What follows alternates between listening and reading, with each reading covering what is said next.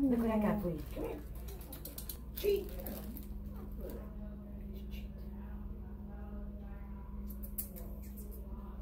It's okay.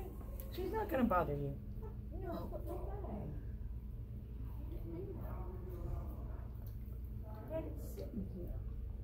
You gonna go check her out?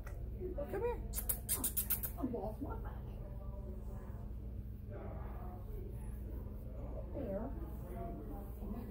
It's okay. Now we're over here. It's okay.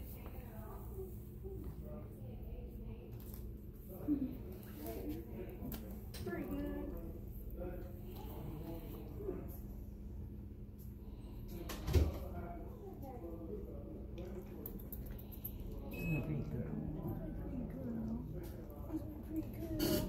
Good girl.